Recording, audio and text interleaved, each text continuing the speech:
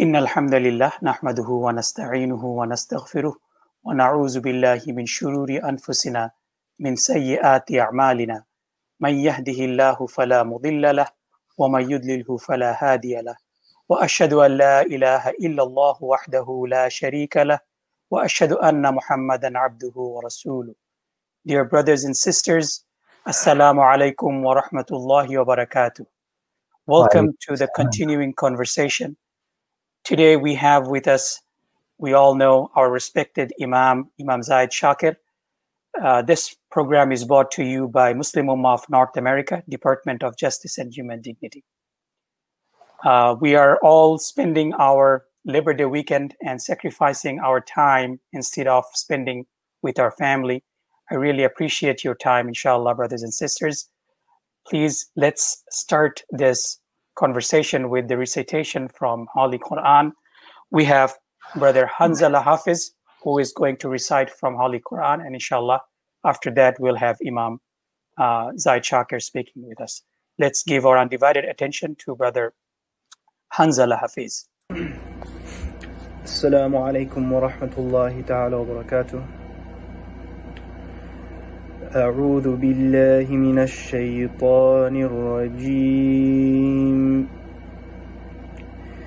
يا أيها الذين آمنوا لا يسخر قوم من قوم قوم من قوم عسى أن يكونوا خيرا منهم ولا نساء نساء عسى أن يكن خيرا منهن ولا تلمزوا أنفسكم ولا تنابزوا بالألقاب بئس الاسم الفسوق بعد الإيمان ومن لم يتب فأولئك هم الظالمون يا أيها الذين آمنوا اجتنبوا كثيرا من الظن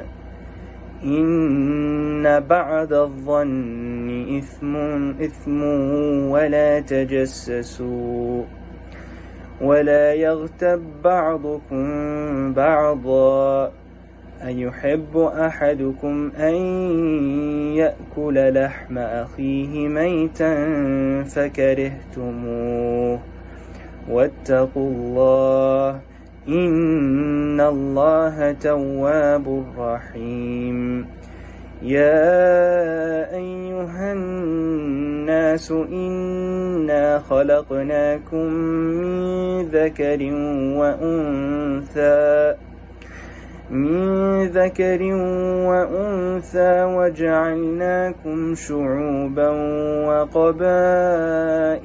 لتعارفوا إن أكرمكم عند الله أتقاكم إن الله عليم خبير صدق الله العظيم So inshallah now I'll be reading the meaning what I've recited. I recited from Surah Hujurat, ayahs 11 to 13. Allah subhanahu wa ta'ala says in the Quran, O you who have believed, let not a people ridicule another people. Perhaps they may be better than them. Nor let women ridicule other women. Perhaps they may be better than them. And do not insult one another, and do not call each other by offensive nicknames.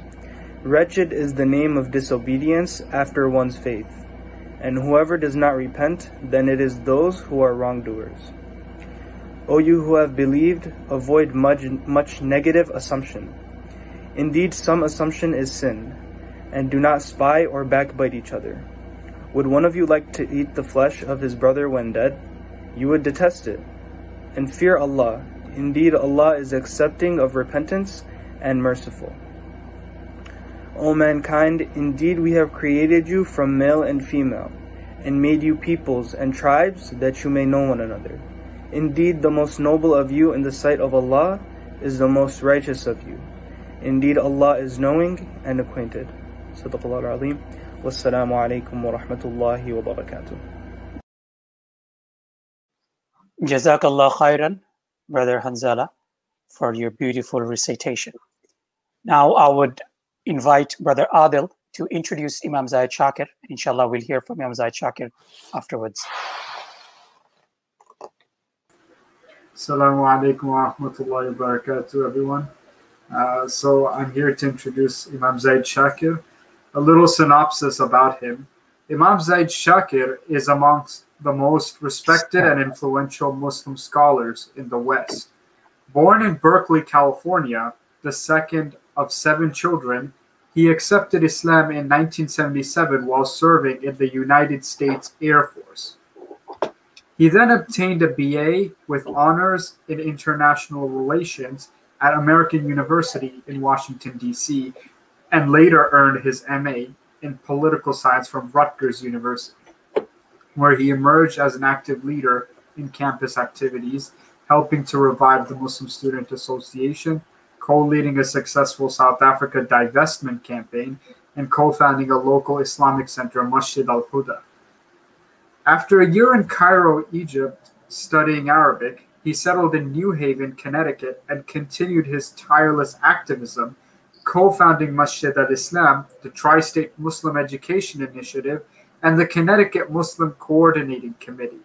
As Imam of Masjid al-Islam from 1988 to 1994, he spearheaded a community renewal and grassroots anti drug effort in the local neighborhood and also taught as an adjunct professor of political science and Arabic at Southern Connecticut State University until his departure for Syria to further his studies in traditional Islamic sciences.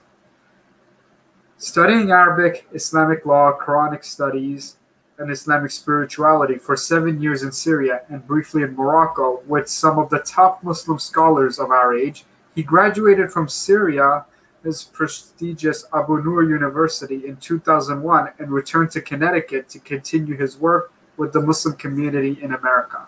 Teaching frequently as the Imam of Masjid al-Islam, writing numerous articles for various magazines, journals, and newspapers, and lecturing regularly at many of the largest Muslim conferences and conventions. He soon emerged as one of the most popular and sought after Muslim leaders. He has translated three books from Arabic into English, including The Heirs of the Prophets, which was published in 2001. In 2003, he moved to Hayward, California, with his family to serve as a scholar in residence and lecturer at Zaytuna Institute. He is widely regarded as an articulate voice on Islam and African American issues and a leader in the emergence of an Islamic tradition indigenous to America that seeks to reconcile traditional teachings with an experience that is uniquely Western. Without further ado, I would like to invite Brother Zaid Shakir to enlighten us. بسم الله الرحمن الرحيم الحمد لله رب العالمين والصلاة والسلام على سيد المرسلين سيدنا محمد وعلى آله وصحبه وسلم تسليما كثيرا السلام عليكم ورحمة الله وبركاته Alhamdulillah, it's a great honor to be here under the auspices of MUNA, especially for this particularly timely uh, program.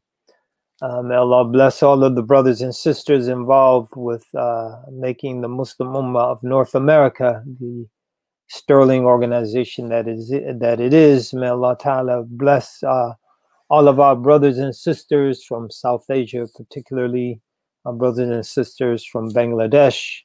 May Allah give them tawfiq, taysir, kabul. May Allah protect them from the many, many challenges from coronavirus to sea level rise to increasingly deadly typhoons to all of the or cyclones i think they call it over there and all of the other challenges that people are facing uh, deforestation may allah bless them give them sabr give them wise leaders give them uh, the wherewithal to be faithful uh, sincere uh, wise uh, dedicated followers May Allah Ta'ala bless, bless all of us in this country.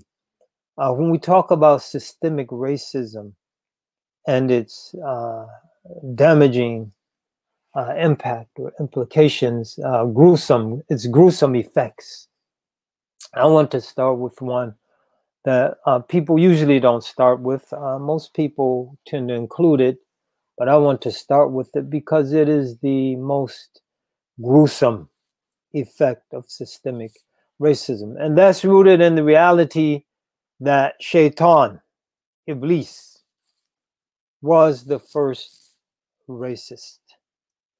When Iblis, La'anahullah, may Allah's curse be upon him, was asked to prostrate himself to Adam, he refused. And he refused based on a claim of superiority. So Allah Ta'ala relates in the Quran, أعوذ بالله من الشيطان الرجيم ما معنك ألا تسجد إذ أمرتك قال أنا خير منه خلقتني من نار وخلقته من طين So Allah Ta'ala asks rhetorically, rhetorically because Allah already knows the answer and Allah knows the reality of the situation. So he asked rhetorically, What prevented you from prostrating yourself to Adam when I commanded you to do so? Iblis reply, replied, I, I, am, I am better than him, and I'm better than him. And so he made a claim of superiority. So he was not just the first racist, he was the first racist supremacist. And so, why do we say racism? So he, he's a supremacist.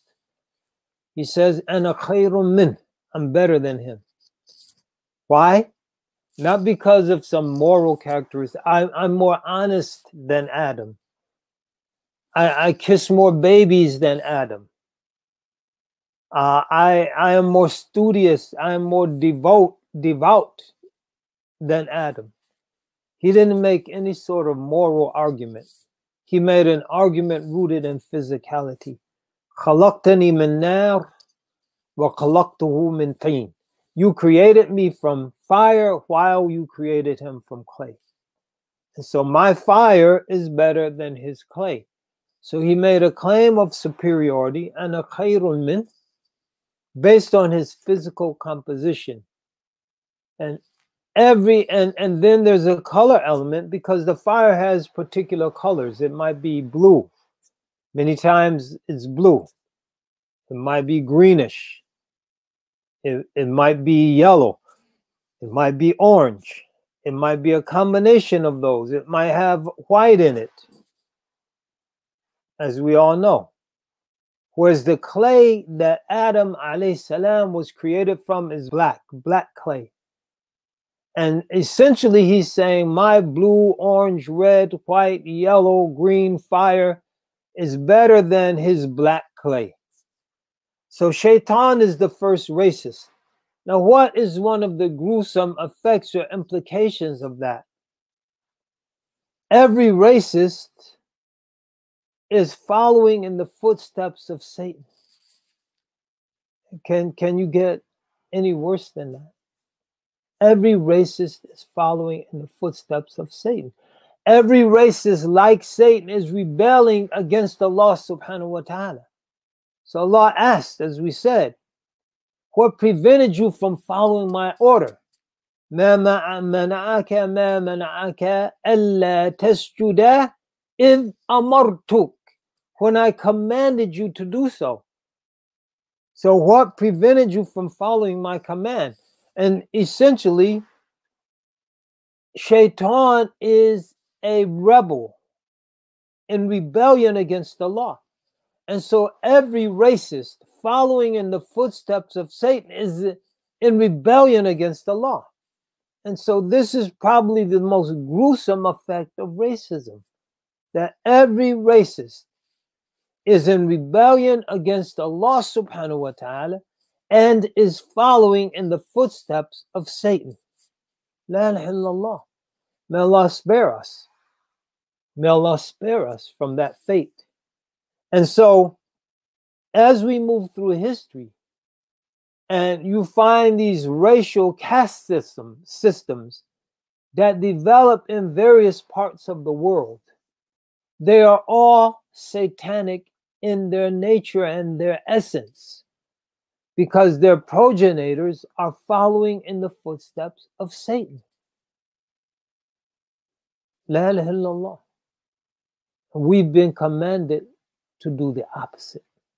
Allah Ta'ala in la تتبعوا خطوات الشيطان إنه كان لكم عدوا مبينا Don't follow the footsteps of Satan. He is unto you a clear, open enemy. So those who are following the footsteps of Satan, of, of Satan, they're in rebellion against Allah subhanahu wa ta'ala, and they become amongst the troops of shaitan. The troops of shaitan, the awliya of shaitan, the khayl and rijal of shaitan, the cavalry and foot soldiers of shaitan we have to oppose them. How do we oppose them? We oppose them by bringing people the truth. And in our day and time, one of the greatest challenges facing us as Muslims is to speak the language of Quran. Allah Ta'ala uh, at the end of Surah, Surah Qaf, فَذَكِّرْ بِالْقُرْآنِ مَنْ يَخَافُ وَهِيدٍ so remind them with the Quran, those who fear my threat. فذكر بالقرآن فذكر إنما أنت مذكر So remind them, you are but a reminder. And so what do we remind people with? We remind people with the Quran. We remind people with the scripture. We remind people of the sunnah of Muhammad sallallahu alaihi wasallam. And at this point, mentioning the sunnah of Muhammad sallallahu alayhi wasallam, I like to segue into a hadith, a well-known and often repeated hadith in this context. And that's the hadith of Abi Dhar and Bilal رضي الله عنهما Abi Dhar قال لي بلال Yabna Saudat, O you son of a black woman. When the Prophet wasallam was informed of that, what did he say to Abi imra'un إنك امرأ فيك Innaka imra'un امرأ فيك الجاهلية You are a man who has the vestiges of pre-Islamic ignorance in him. You have not rid yourself of pre Islamic ignorance. The wording is very important because one of the gruesome effects of American racism, which is very deep and very pernicious, and there, there definitely has been improvement, not to deny that. But as we see in the events, in the nature of political discourse, racism is still very much alive in our country. And one of its impacts is that it shapes virtually every aspect of our public life. Every aspect of our public and private lives. It shapes the language that we use. And so nowadays you hear uh, a lot of talk about systemic racism, which is valid and legitimate. But as Muslims, are we adding jahiliyyah to the conversation? Our Prophet وسلم, said to, didn't say to Abi Dhar, yani, uh, if I can invent a, a phrase in Arabic, إنك امرأ uh, في فيك العنصرية فيك عنصرية نظامية so uh, you're a man who has systemic racism in you whose life is affected by systemic racism he didn't say that in, in the face of this racist insult that Abu Dhar hurled towards Bilal. He said, Anta imra إنك إنك إمر فيك الجاهلية Verily you are a man who has pre-Islamic ignorance in you. Why is this important? Many uh, who study systemic racism at a very deep level, they posit that there's no cure for it. They, they, they say there's no, no cure. one of the greatest scholars of racism, Professor Derrick Bell, pro professor of law at Harvard University, says that the, the systemic racism is incurable. Many others voice the same opinion. And so we could get caught up in a, a way of thinking that leads us to believe that these racialized categories, there's no cure for them. And of course, not everyone advocates that. I mentioned one very famous advocate of that uh, idea, but not everyone advocates it. But it's easy to get caught up in that cycle. Whereas the language the Prophet used, sallallahu alaihi wasallam, innaka imru'un fika al-jahiliya, ignorance has a cure, and the cure for ignorance is knowledge. And so, one of the gruesome effects of systemic racism is that when we get caught up in the reality of racism in America, we could come to think that the roots of the, the systemic racism are so deep they can't be cured. And in adopting that uh, belief, we fail to apply the cure. What is the cure? The cure is Islam. The, the Jahiliyyah of the pre Islamic Arabs was cured by Islam. جاء al-ba'til al-batil الباطل كان زهوقا Truth comes, falsehood vanishes, falsehood by its nature is doomed to perish. جاء الحق وزهق الباطل إن الباطل كان زهوقا Falsehood by its nature is bound to perish. But what does it require? And so Jahiliyyah, by its nature, when it's confronted with the truth, the haqq, Jahiliyyah is a manifestation of falsehood, batil. When the truth comes, the falsehood perishes. When the sun, sun comes out, the darkness of the light vanishes. And so it requires us as a community to shine the light of Islam upon it. This is what it requires. And in doing that, we have to do it in a way that involves everyone. If one particular community, if the African American community alone could cure systemic racism, it would have been cured a long time ago. If the Euro American community by itself could cure systemic racism, it would have been cured a long time ago. If the Latino community by itself could cure systemic racism, and the Latino community is a community dip, deeply victimized by many of the systemic aspects of racism, it would have been cured a long time ago. It's going to take all of us working together on, on the basis of a common platform to cure it. Many of the approaches taken by people, taken by one group, alienate another group. I'm not saying that's right or justifiable, but that's a reality we see on the ground.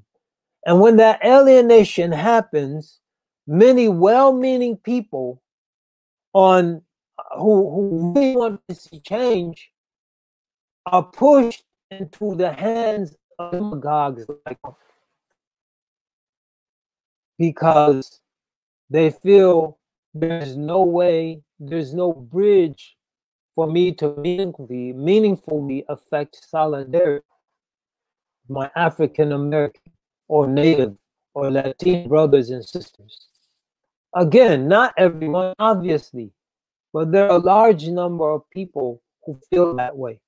And so, as Muslims, we have to have the wisdom to present a solution that unifies us. Because the nature of our religion or the foundation of our religion is Tawheed, the oneness of God. And so we move towards a Tawheedic worldview when we bring people together, the opposite of talking is takfir, to make many. And so we move away from tawhidic ideal when we fragment and segment and divide people. This is the nature of reality. So we have to devise strategies that bring people together this case to address the issue of racism. And as I said, the language is important. When we say jahiliya, ignorance, it's amenable to the cure of knowledge. It's amenable to the cure of knowledge. Once we understand that, we understand the importance of Islam. And so, one of the, the gruesome effects of systemic racism is that we can so internalize the parameters go- uh, governing its very discussion that number one we feel it's uh, it's it's it's uh, irremovable you can't get rid of it and so we can get frustrated and give up number two we might feel the solution lies only at the systemic level and so I don't what I'm saying is not to dismiss dismiss the reality of systems. But if we don't approach it from the foundation that Islam gives us, we might approach it strictly from the systemic level. Meaning we change the institutions, we change the systems, and everything will change. That's part of the solution, not the whole solution. Because if if we reformed every police department in this in this country, all of the best practices that are based in in focus groups of people in the communities that are being policed. And we came with those solutions and we implemented them across the board. And so we changed the very structure of police departments. We changed the policies governing police policing. We did all of that, but we didn't do anything to address that satanic impulse that exists in the hearts of some human beings. You will still have racist cops and you will still have African American men primarily, but not exclusively African American women, African American children like Aiyana Jones and Tamir Rice and others being killed by police because you would still have a satanic racist element working within the context of those reform structures. So as you reform, even change the system, you have to change the human beings. And this is where Islam comes in. And so, what is a gruesome effect of systemic racism is if it if we're led to believe in changing the system itself is going to solve the problem. That's a gruesome effect. Why? Because it deludes us as to the deeper aspect of the solution. And the deeper aspect is we need to bring Islam to the people. We need to bring Islam to the people. Why? Because I say so? No, I'm not I'm not speaking from my whim. I'm saying this because Malcolm X said it in his famous letter from Mecca. What did he say? Maybe if the people, to paraphrase, maybe if people in America could study Islam, it can help them and and and and and live Islam, it can help them to transcend the race problem because I see all the races here coexisting in harmony, and they don't have that attitude that informs the uh, Euro American. I see Bosnians here, I see Albanians, I see other European Muslims. They don't have that attitude. They don't have uh, the, the, the, the, the, they don't portray the air of the kind of uh, racism and the denigrating behavior and denigrating even looks that I find in my own country. And so a lot of people say Malcolm was naive. He was a new Muslim. He didn't know the reality of Muslim society. Yes, there's colorism in some Muslim societies. There's a, uh, a, a lot of things that aren't perfect. But Malcolm, he understood something fundamental about this religion. It provides a foundation for us to live together. You don't uh, you you don't find neighborhoods where people move out of their homes if a dark skinned family moves in next door in the Muslim world. You might find neighborhoods of poor people and though the, the poor demographics in that country, they might be darker skinned people. But if someone of darker skin moves in, you don't find people selling their house and moving next. You don't find racially segregated cemeteries they say, What is the most segregated neighborhood in the United States? The cemetery. Why? Because of white folks, Euro Americans find out that African Americans are buried there, they will, that cemetery is going to go out of business. You don't find that in the Muslim world. You don't find someone, oh, oh what was the, the race or what was the skin color of that person who was buried in that uh, grave? Oh, they were a dark skinned person. No, we have to go somewhere else. No, you don't find that. And, and Malcolm observed that. Uh, another person uh, whom we should respect on this uh, subject is uh, Arnold Toynbee, arguably the greatest historian of the 20th century. Arguably, some people don't like Toynbee's method, but very few people would deny Toynbee's greatness, and many people many historians, those who understand his, history and understand historiography, historical method, they, they would argue that Toynbee is the greatest historian of the 20th century. He wrote his, his magnum opus, A Study of Civilization. Toy, Arnold Toynbee, in a famous essay, he said that Islam can offer Western civilization two things a solution to the problem of race and a solution to the problem of alcohol, and by extension, intoxicants. This is very insightful. And this is, again, this isn't coming from some Muslim ideologue. It's coming from arguably the greatest historian of the 20th century. It's coming from someone with an uh, perhaps unmatched, unrivaled knowledge and command of history and civilizations and the reasons that civilizations rise and fall. And this man said Islam can offer the West a solution to the problem of race. me, in that essay, uh, I think the title is, I haven't looked at it in a while, is uh, Islam, Civilization, and the West, something along those lines. But he also I, identifies racism as a spiritual disease. He says it's a spiritual disease. And again, this is very important because a spiritual disease is most effectively cured by a spiritual cure. A spiritual disease is most effectively addressed by a spiritual cure.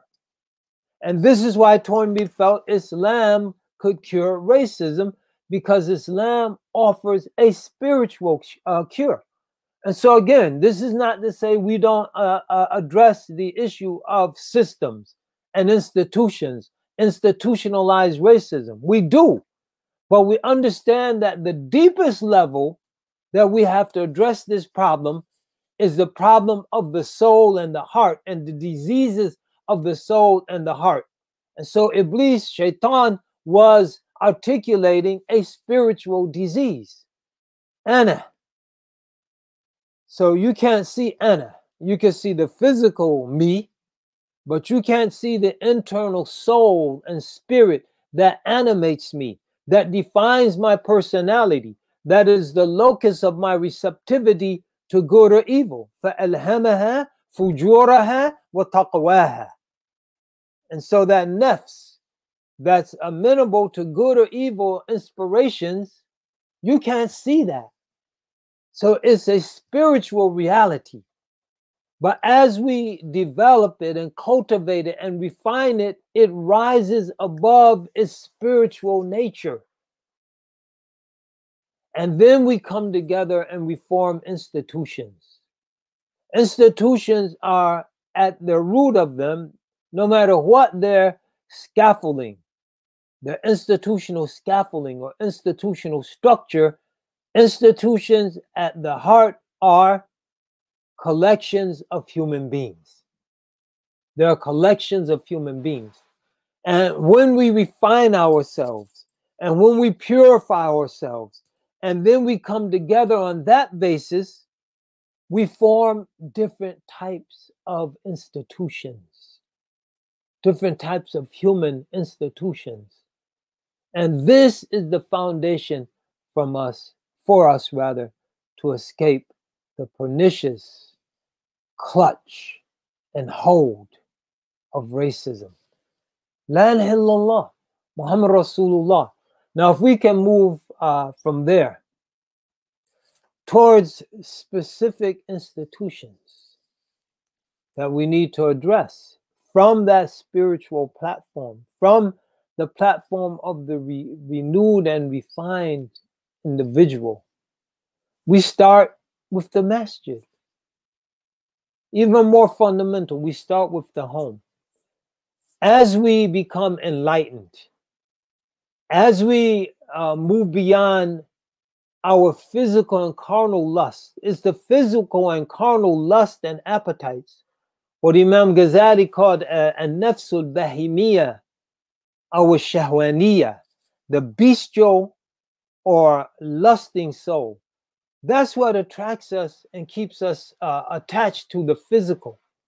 And so, skin color, physical features, eye shapes, hair texture, skin colors, these are physical features that only uh, attract us when we ourselves are trapped at the at the level of carnal lust and appetites so to to begin the transformation we'll go through this and then come back to the home we have to begin to question ourselves when we find ourselves affected uh, attracted distracted by physical uh, reality so I I I I'm I don't like people of dark complexion. I don't like people who have light complexions. You know, I, the, the the white man is evil. You have a lot of Muslims now caught up in, into this uh, uh, collective den- den- denigration of of white folks, Euro Americans. You know, they're they're they're they're uh, all bad. They're all racist. They all enjoy white privilege, whether they acknowledge it or not. Whether they acknowledge it or not, they all enjoy white privilege. And someone just flashed a, a, a hadith that at the end of time, knowledge will be taken away. That's true. But at the end of time, there will always be a group that is founded on the purity of the revelation. And Muawiyah radiallahu anhu قال قال رسول الله صلى الله عليه وسلم اللهم صل على رسول الله من يريد الله به خيرا يفكه في الدين one Allah wants good for he gives him or her a sound understanding of the religion إنما أنا قاسم والله عز وجل يعطي I dispense the the seeds of revelation. It's Allah subhanahu wa ta'ala that causes those seeds to take root. In other words, it's Allah that gives guidance. I dispense the revelation. It's Allah that gives guidance.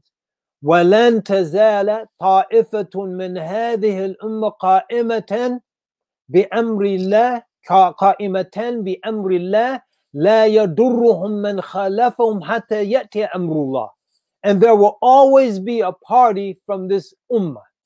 And the dominant opinion is that that party, their members will be scattered throughout the lands. So it's not necessarily one group of pure people in one pure place, but these people in, in groups will be throughout the lands. And they will be establishing their affair on the basis of the commandment of Allah, qa'imatan, the الله they will not be harmed من خالفهم by those who oppose them حتى يأتي أمر الله until the command of Allah comes and that latter command either the smoke that will blow at the end of time that will take people's soul the emergence of the Dajjal but the dominant opinion the Qiyam Yom Al Qiyamah until Yom Al Qiyamah this group will be found and so يعني my ummah is like uh, uh, rain مثل أمتي مثل المطر لا يدرى uh, أوله خير أو آخره we don't know if the first of it or the latter part of it is best so you don't know if the first or latter part is best في آخر الزمان أيام تسمى أيام الصبر at the end of time, there will be difficult days. They will be called days of patience. عَلَى عَلَى الْجَمْرِ One holding on to their deen, their religion during that time will be like one holding on to a burning ember. Like when you had your cookout last week, like scooping out one of those red hot coals and holding on to it. It would be very difficult. It would be very difficult to do. That's not a tattoo. That's some ink I got on my hand. So don't say Imam Zaid had a tattoo. I could go get one. Astaghfirullah. If you have a tattoo already and you took Shahada, labat. So you were ignorant young person, even your family was Muslim, just don't get another one. Now you know better. But it would be like holding on to a, a burning coal. It would be difficult to hold on. But if you do hold on, والقابض فيها على دينه كالقابض على على الجبر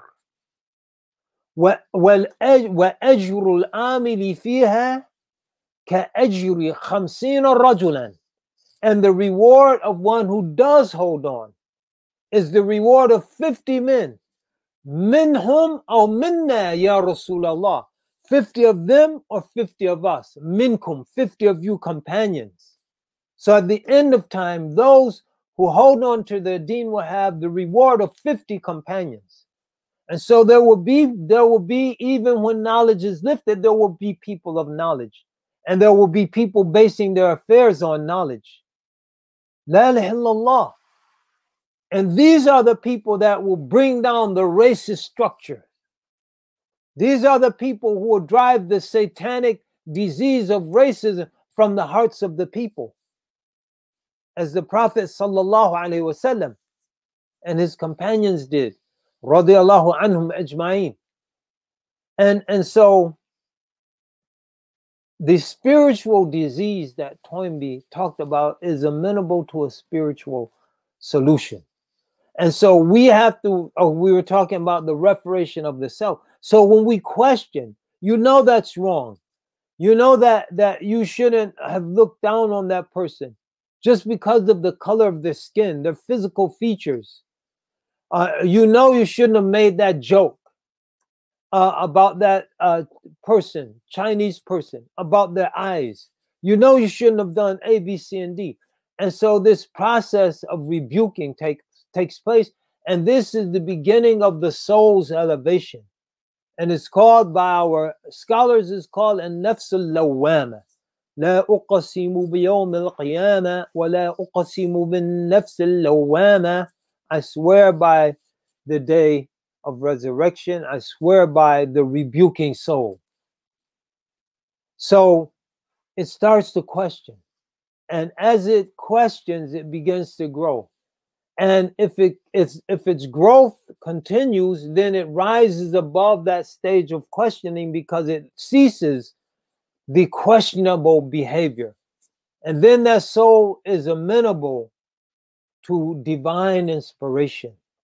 And that's called a nafsul mulhama, the soul that can be inspired by good. And when the soul accepts the good inspiration, because it can still be affected by bad, but it's grown and matured, and now it's more receptive to good. فألهمها فجورها وتقواها الملهمة فألهمها النفس الملهمة so that soul can be inspired to good and when it accepts the good and embraces the good and internalizes the good then it's at total peace and nafsul mutma'inna then it's still and it's calm and it's collected and nafsul mutma'inna and that soul is ready to meet Allah. And that is the soul that has transcended racism. And so, one of the gruesome effects of systemic racism, as we mentioned throughout, is that it can prevent us from understanding the importance of starting with ourselves. Starting with ourselves and starting with the reformation of ourselves and then starting and spreading that to our families, and then spreading that in our masjids, and spreading that in our org- our organizations, and our communities. Until we're doing that in so many places, we cover this land with right guidance and proper inspiration. And so, this, and we have to believe this. We have to believe this. And so we as Muslims, we don't negate what anyone might be doing, but we accentuate where we have a comparative advantage. And this addressing this disease of racism at a spiritual level is our collective advantage as a community. Adam Smith, our comparative advantage, rather. Adam Smith, the great economist, one of the key concepts he talked about in The Wealth of Nations was what? Comparative advantage. This nation, Ghana, should not have permaculture farm, farms that look like jungles producing all sorts of stuff. They should mow their jungles down and they should grow grow cocoa. And so Ghana for the last century or so has been the greatest cocoa producer on earth. And and per, per, per, per capita. The greatest cocoa producer on earth. Why? Because using the logic of Adam Smith, that's their comparative advantage. I don't agree with that. I'm just making a point. So as we look at who's out there, Black Lives Matter out there, uh, other organizations, they're out there. Critical racism, it's out there. I'm not criti- crit- critiquing any of that. Uh, there are critiques to be made, but there's good also to be identified. But what I'm saying, as the Ummah of Muhammad, sallallahu alaihi wasallam, what is our comparative advantage when we compare ourselves as an ummah, as a community to Black Lives Matter, as a collective, uh, a group, an organization? as we compare ourselves to the advocates of critical race theory, as we compare ourselves to any any organization out there, to Antifa, for example, not anyone engaged in any violence or anarchy, but people genuinely addressing fascism and racism from an in a nonviolent way. So we compare ourselves to the new Black Panther Party, we compare ourselves to everyone who's active in the sphere of anti-racist uh, work in this country, what is our comparative advantage? And what does the country lose if we fail to pursue what we're best equipped to do? And this is a fundamental question we as a community have to ask ourselves. Because if we just blindly and uncritically do what all of these other groups or others we could have mentioned are doing, I would argue that everyone is losing something. And what we're losing is the ability to systematically address the issue from a spiritual base and foundation. What we're losing is the tawfiq because the fact that racism exists in this country, despite advances, with the intensity that it exists, people driving their cars into masses of people, trying to kill them because they hate them either for their race or for the solidarity they show with people of other races. People shooting individuals because of their race people are denigrating whole categories of individuals because of their race. Right? This is what's happening out there. Where is the Muslim voice? And not the Muslim voice uh, parroting what others are saying. Where's the uniquely Muslim voice that's bringing the words, the method, the wisdom of Rasulullah sallallahu alaihi wasallam who initiated the greatest racial advances in history sallallahu alaihi wasallam is there a community more diverse than the muslims the fact that islam appeals to africans and africa is the the the first muslim majority continent is a testimony to the anti racist nature of Islam. The fact that Islam appeals to Chinese Muslims, the Han Chinese, by the millions. The fact that Islam appeals to the Uyghurs, who are Turkic Chinese, Eastern Turkestan, not Xinjiang, not the new land. It's a new land for the Communist Party of China. It's East Turkestan for the Uyghur people. The fact that Islam appeals to millions of Uyghurs is a testimony to its anti-racist nature.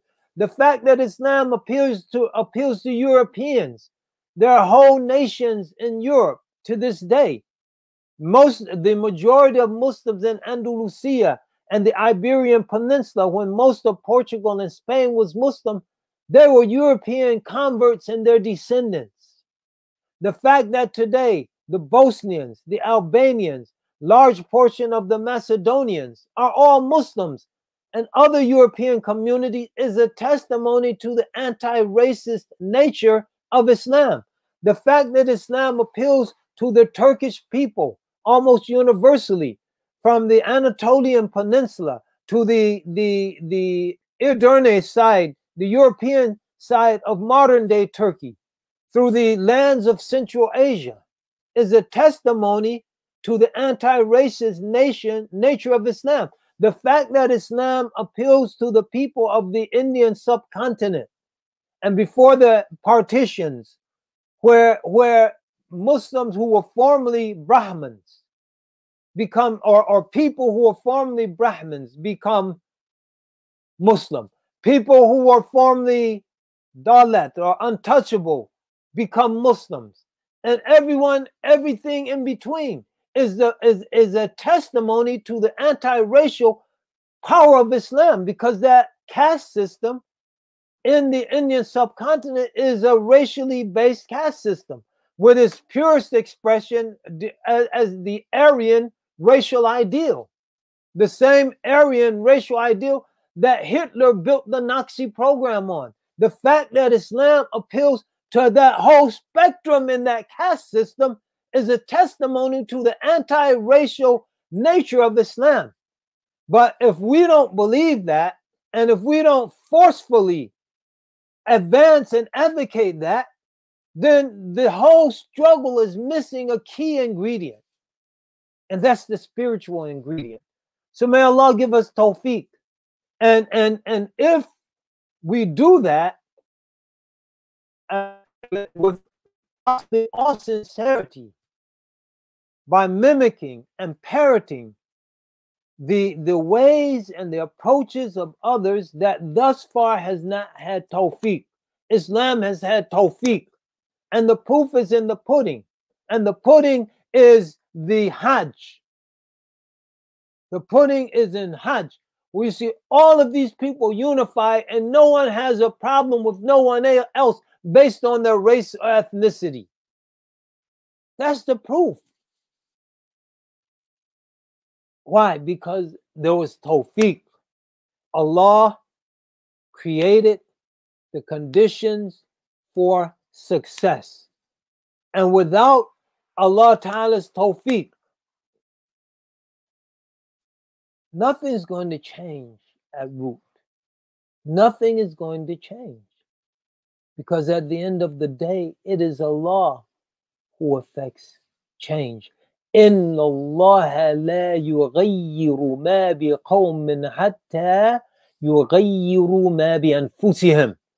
Allah will not change. Who brings about the change? Allah subhanahu wa ta'ala brings about the change. Allah Ta'ala brings about the change. And where does the change start? It starts within ourselves. إِنَّ اللَّهَ لَا يُغَيِّرُ مَا بِقَوْمٍ حَتَّى يُغَيِّرُ مَا بِأَنفُسِهِمْ May Allah give us tawfiq. May Allah give us uh, uh, tawfiq, taysir, kabul. May Allah accept all of your efforts, no matter what you're doing. May you have tawfiq and may what everyone is doing to contribute uh, to addressing this problem, may they have tawfiq. So as I said, we're not trying to critique or criticize or or denigrate or dismiss anything that anyone is doing to address this nagging problem in American society. We're only encouraging our Muslim brothers and sisters to step up, to do our part as a unique Muslim, a uniquely qualified Muslim community. Barakallahu fikum. Assalamu alaikum wa rahmatullahi wa barakatuh. Barakallahu fikum, Imam. It's really inspiring. Uh, there are plenty of issues you have touched upon. I hope all of us benefited from it. But the key thing that I took from your uh, deliberation is that that racism is a spiritual problem and it needs a spiritual solution. That is amazing, Imam. And mashallah, you have mm. uh, covered that uh, that uh, issue that if you blindly follow, uh, then everyone is losing. And Muslims have definitely comparative advantage. And because of that, Islam appealed to African continent, Chinese people, Han community accepted Islam, and you went on and on. Barakallah fikum. Uh, now uh, we will encourage question from our audience. Right. While, while they're thinking about the question, let me go get some water. inshallah. Yeah, inshallah. Time inshallah. out. Inshallah. So uh, let's add uh, um, our National Vice President, Dr. Saidur Rahman Chowdhury. Uh, inshallah, uh, again, we are, we are really fortunate we have Brother Saidur Rahman Chowdhury. He is at, at work. Mashallah, you joined us. Inshallah, Brother Saidur Rahman Chowdhury is going to uh, address uh, the concluding speech for us. Uh, brothers and sisters, if you have questions, please uh, type it up on, on your comment box. Inshallah, Imam will answer that.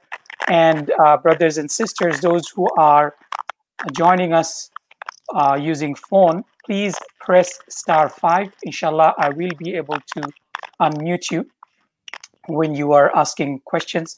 I will know if you're asking question, I'll unmute you, inshallah. So if you have uh, if you have questions, please uh, let me know. Uh, I will un unmute you. So uh, Brother Adil, I, uh, I, think you have some questions. So when uh, Imam comes back, if you can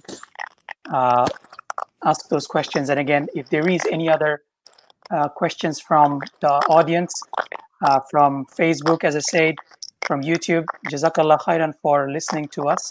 Uh, please uh, bring it your way. So let's uh, wait for Imam to come and Brother Adil, please uh, ask your questions. So I think you have two questions, right, Brother Adil? Yeah, I have one coming from the audience and one of my own. Yes.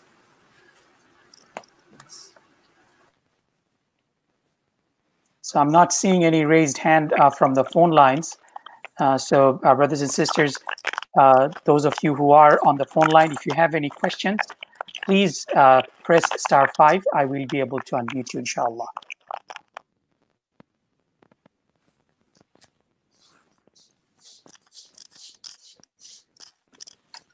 Another very interesting thing uh, Imam added is that we don't think of it oftentimes is that shaitan was the first racist person.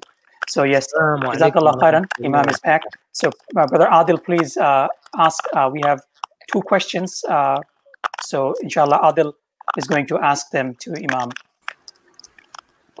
Yeah, uh, Assalamu alaikum, uh, brother Zaid.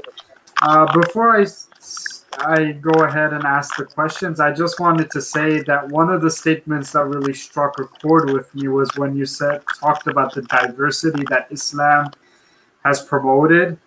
And I must say that, you know, even though I am from Bangladesh, you know, if I look back at my own history, I find that many of my ancestors weren't originally from Bangladesh. And, you know, I just wanted to basically add some more evidence to your claim uh, that indeed, Islam has promoted diversity.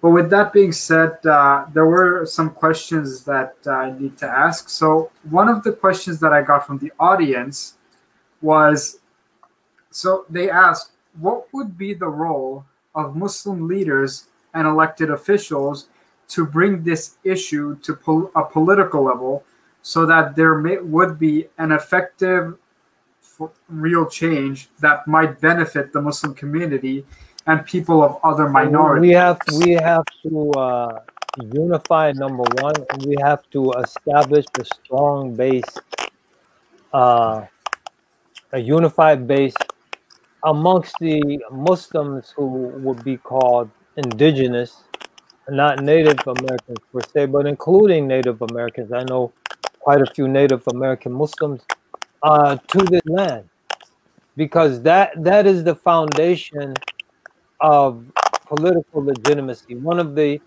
uh, greatest issues in politics is is the issue of legitimacy. If a leader is seen as illegitimate, if uh, those who are advocating for politi- a uh, particular political platform are viewed as illegitimate, then it's very difficult to accomplish anything politically. And so, one way that the entire Muslim community legitimizes itself is by adopting the history of primarily, but not exclusively, the African Muslims and then subsequently African enslaved and then subsequently African American Muslims. Because now as a Muslim, no matter where you come from, you have root in this country. And so you're instantly legitimized. No one can say, oh, you're an immigrant, you still have an accent. You can say, no, my spiritual ancestors. So just as Khadija is our spiritual mother, radiallahu anha, from the Ummahatul Mu'mineen, even though many of us might not be aware of any Arab de, uh, lineage. Probably unknown. We all have something, but not consciously. We we we have no Arab lineage, but Khadija, Um Salama, Aisha, uh, Um Habiba, Juwairia. These are our mothers. They are spiritual mothers. We might not have any blood connection to Abraham, but he is so far back. By now, we probably all do, but we're not aware of it but Abraham is our spiritual father. Millata abikum Ibrahim. And, and so those African slaves, they are our spiritual ancestors, no matter what your, your ethnic uh, or national background might be. And by adapting that history and then helping to empower the descendants of those slaves, we gain the, the legitimacy to begin to articulate a specific set of socio-political demands. But why?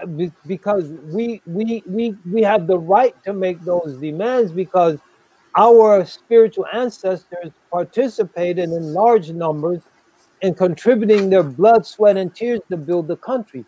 On on the other hand, uh, on the other hand, there has to be a unity between the Muslims. And, and this is something Muslim leaders outside of politics will be uh, in a better position to effect.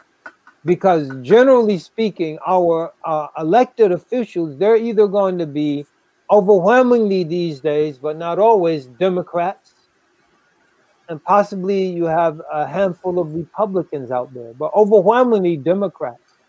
And as Democrats, the the the solutions, the programs that they advocate are going to be reflective of the Democratic Party. And I'm not saying that's good or bad. I'm not trying to make a value judgment. I have my opinion on it. But the point is if we cannot deviate from the talking points of the Democratic Party and still uh, retain the support of the party. You can deviate, but you lose the support. Uh, and, and, so we, uh, as or elected officials rather, cannot take the lead in this regard. There's a role for them to play, but the lead has to be taken by those outside of the arena of electoral politics. Jazakallah khairan, Imam. Uh, Brother Adil, you have another question, I believe, right? Yes, um, and this question is a completely different theme than the one before it, in a sense. Um, and I'll, I will preface. Uh, I'll preface it by saying that um, long before this uh, conversation, I actually read on the uh, mission statement of Black Lives Matter, and I you know, I read some of the things which were very alarming, like to read it and some of their mission yeah. statements. It was a little bit. Um, they want to disrupt the heterosexual patriarchal norm- normalcy, the nuclear family, etc. Right, right. so, by three queer black women to do all of that stuff. Mm-hmm. Mm-hmm. That's okay, basically, anyway, you know, so the basically, and in, in more ge- in a more general sense, I wanted to um, ask there are a lot of insurgents and a lot of rabble rousers who kind of hijack, you know, they use the issue of racism as a Trojan horse to kind of put in their ideas and their anarchy and whatnot. And that's what most people see on, unfortunately. The news has a bad habit of portraying these sort of things to if it, everyone. If it, bleed, if it bleeds, it leads. Yeah, no, definitely. And you know, my question is: so, as Muslims, how do we kind of separate ourselves from all this, you know, nonsense, and really focus on the virtuous and divine um, mission of attacking racism, and also how do we make sure that people like these don't become the main speakers of this issue? You mean Muslims who endorse those various platforms don't become the main speakers? Is no, I mean what? like uh, what I was asking is how do we make sure that the these um, rabble rousers and these insurgents don't hijack the conversation re- uh, around racism? That's my main question. How do we make sure that doesn't happen? I think we as Muslims have to organize ourselves once again to go back to the principle of organizing, the principle of strength in numbers, and with confidence. We have to have confidence that what we can offer is meaningful. And so once we organize ourselves and we build up a critical mass, then we speak our language because we have the mass necessary to do that. And we can then begin a process of negotiation with other groups. So as, as opposed as opposed to appendaging ourselves uncritically to others, we can begin to negotiate in the political space, and the political space is a space of negotiation based on an agenda that's rooted in our principles and values. And I think one of the things you you imply uh, at the the preface to your question is how do we remain authentic and how do we, we, we, we remain uh, committed to the Quran and the Sunnah and to the worldview that emanates from the Quran and Sunnah and to our moral principles and our family values. How do we remain committed to those while addressing a, a nagging societal issue like racism in the United States? So we, we do it, first of all, by coming together so that we have the numbers necessary to advance our ideas and to see who out there wants to ally with us on the basis of our ideas. Now you have a lot of Muslims talking about allyship, but generally, allyship means, generally speaking, abandoning some of your core principles to uh, gain the support and then lend your support to others whose values are totally different from ours. So we can redefine what allyship means, but we can only do it from a position of strength.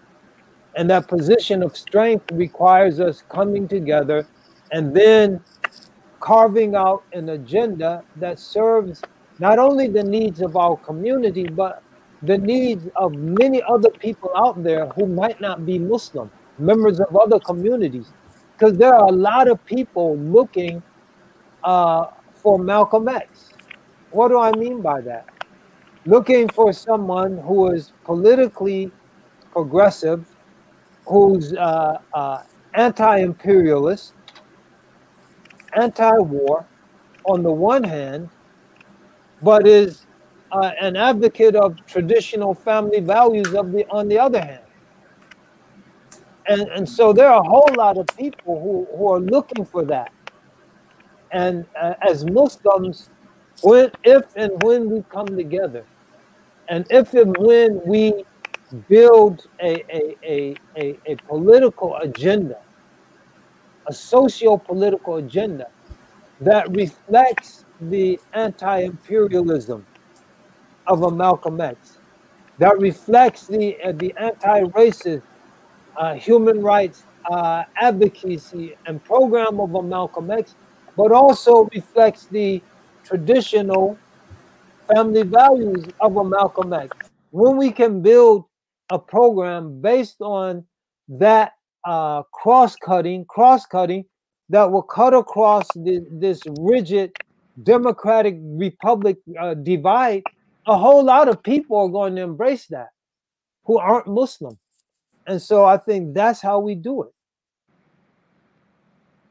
Jazakallah khairan, Imam. It's a, it's oh, a oh, very difficult question. That's an, that's an, outline of how we do it. Yeah. it's a lot more involved than that. Yeah, Imam, we imagine. have one question from the audience. Uh, uh, this has to be the last question. If uh, Yes, inshallah. This is the last question. This, this is from uh, Professor Ibn Zamir from Delaware. Uh, he's asking with regards to racism and colonialism. Uh, is racism different from uh, colonialism? Uh, and uh, his question is Are both of them equally abhorrent in Islam? I think they are different and they're both equally abhorrent.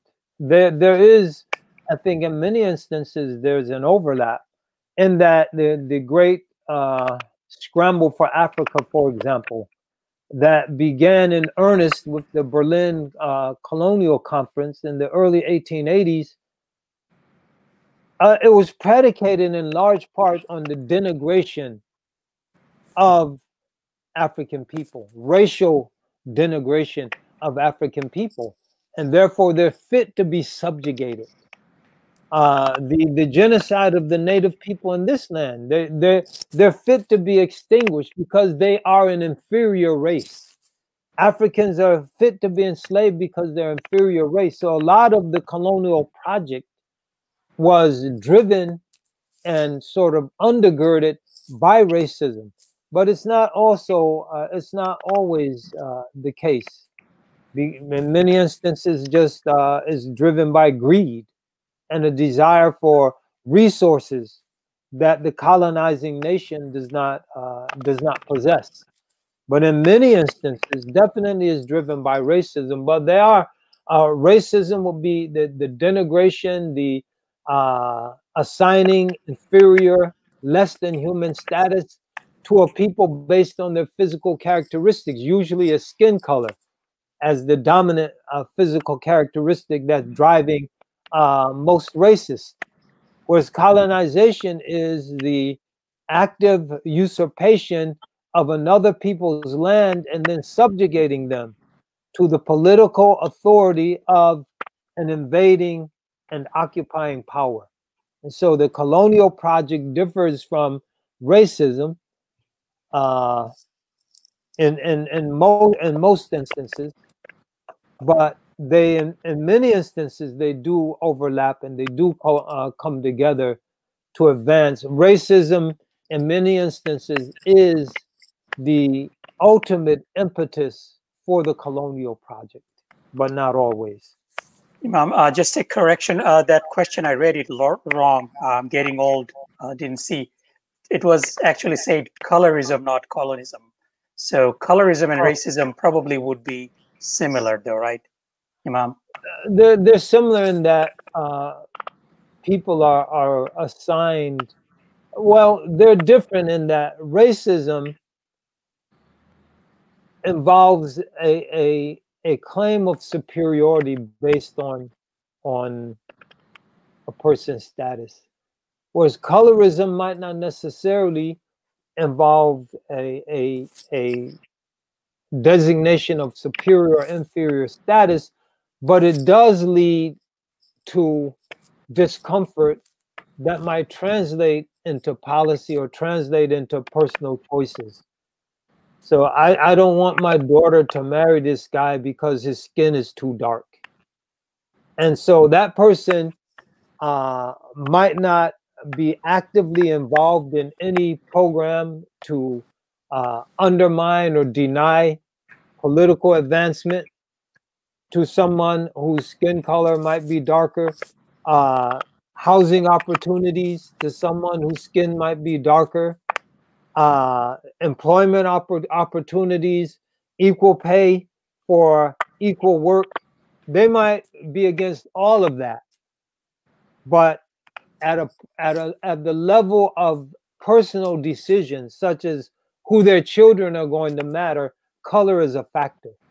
So uh, even if we could say colorism in many instances isn't as pernicious as racism, and in all instances does not uh, necessarily translate into a political, a socio-political uh, regime of subjugation. I think that's the main difference between racism and colorism. Wallahu alam. Jazakallah khairan, Imam. We have a few other questions, but we don't have time uh, for that today, inshallah. Uh, please be with us in future. We will, we will address all your questions. Uh, right now, I would like to invite uh, Dr. Saidur Rahman Chowdhury, National Vice yeah. President of Muslim Ummah of North America, to conclude the session. أعوذ بالله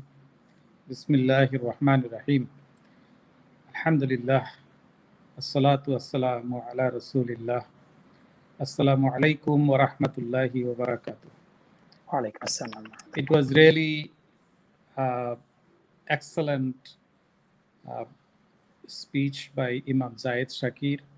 I personally benefited a lot. Particularly, he talked about the root cause of you know, racism. At the same time, the the best way to remove you know, racism. It's wonderful. Uh, I don't like to add many, just two few points, only few. Number one, Prophet sallallahu alaihi wasallam was raised by Umme Ayman. Umme Ayman was a slave of Mother Amina. And Umme Ayman was totally dark, you know, colored uh, individual. And Prophet ﷺ freed her uh, when Prophet ﷺ became a uh, young adult. And Umm Ayman married to beloved companion of Prophet ﷺ, uh, Zaid bin Harisa. So one day Prophet ﷺ said that if any of you want to marry a woman from heaven, uh, you can raise your hand. So that was Zaid bin Harisa radiallahu an said, I want to marry a lady from heaven, from, from Jannah. So Prophet sallallahu alaihi wasallam during his time as a messenger of Allah subhanahu wa ta'ala was surrounded by people of all different colors this is one thing, and many of us, we don't know about much about Umm Ayman. Umm Ayman radiallahu anha uh, was a companion of Prophet Sallallahu was black colored in a person. Prophet Sallallahu used to call her mother, mother, mother of Prophet Sallallahu So this is one thing. The other thing is that Islam prefers to remove evil by what is right. ولا تستوي الحسنة ولا السيئة ادفع بالتي هي أحسن remove evil by what is good so this is one thing the other thing is that unity واعتصموا بحبل الله جميعا so when Muslims are united, Muslims can protect themselves better and Muslim can fight better against all injustices. And it is our noble responsibility to fight all kinds of injustices. Racism, not only based on skin color, racism are in many different forms, economical racism, political racism and racism based on uh, different nationality. And we can say that there are many people, even in our beloved country, Bangladesh, they are victim of political racism. So racism is not just the skin color. And I don't like to prolong my talk. It was highly, highly appreciable talk from Imam Zaid Shakir. And I believe that all of us got tremendous benefit of it. Inshallah, our conversation will continue and we will learn a lot from the uh, experienced scholars and we can do the right thing, what is best for humanity, what is best for the people of the land. May Allah forgive our shortcomings. May Allah shower mercy on all of us, the victims of racism, and who are standing against racism. سبحانك اللهم بحمدك أشهد أن لا إله إلا أنت أستغفرك وأتوب إليك. Jazakallah khairan, Dr. Said Rahman Chowdhury, and yeah. that uh, pretty much concludes our session. Again, I would like to thank Brother Adil. And of course, I would like to thank Imam Zaid for spending this evening with us. Barakallah fikum.